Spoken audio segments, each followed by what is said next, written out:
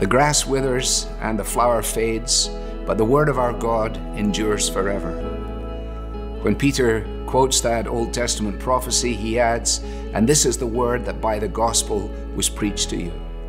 Something that we need to hear every day of our lives. We need the truth of the gospel to anchor us in Christ through the joys and the sorrows, the twists and the turns. And that's why I'm glad to introduce the Truth for Life devotional to you. It's a year long journey that spans the scriptures from beginning to end. And it's a daily devotional because the Word of God is as necessary to our spiritual health as food is to our physical health. So each day you'll find a short Bible text, a concise reflection, and some encouragement to help you apply God's Word to your mind, to your heart, to your life. If we're going to trust in Christ and live for Christ, then we need to be rooted in the Word of Christ.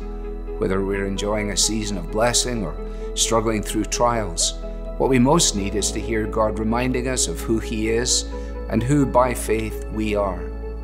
We need truth for life every day.